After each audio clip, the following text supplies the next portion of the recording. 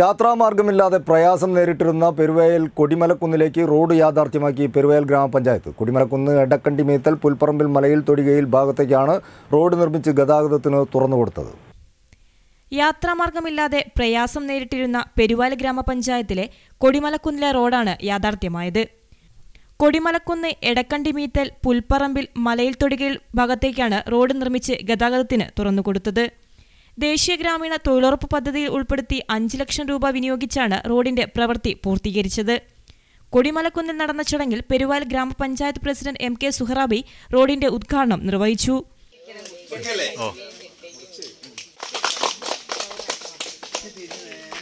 Vice president Aneesh Palatt അധ്യക്ഷത വഹിച്ചു.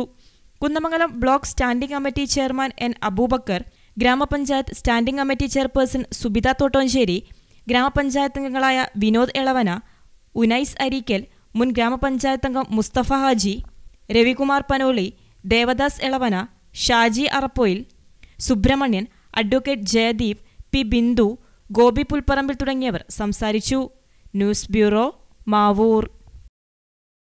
Kodiyathur service സഹകരണ ബാങ്കിലെ ബ്രാഞ്ച് മാനേജരായി സർവീസിലിരിക്കെ മരണപ്പെട്ട കെ സത്താറിന്റെ പത്താം ചർമ്മവാർഷിക അനുസ്മരണം സംഘടിപ്പിച്ചു. ബാങ്ക് ഓഡിറ്റോറിയത്തിൽ നടന്ന അനുസ്മരണ പരിപാടി ബാങ്ക് വൈസ് പ്രസിഡന്റ് സന്തോഷ് സെബാസ്റ്റ്യന്റെ അധ്യക്ഷതയിൽ Kerala bank director E Ramesh Babu ഉദ്ഘാടനം ചെയ്തു. ചടങ്ങിൽ ബാങ്ക് ഡയറക്ടർ സെലീന മുജീബ് മുൻ ഡയറക്ടർമാരായ Nasar Kolayi K P Chandran Kareem Kodiyathur Johny Edassery Sreejith K Bijumon Joseph Sara Kurungottil bank secretary K Baburaj assistant secretary K Muraleedharan K Vikas തുടങ്ങിയവർ സംബന്ധിച്ചു.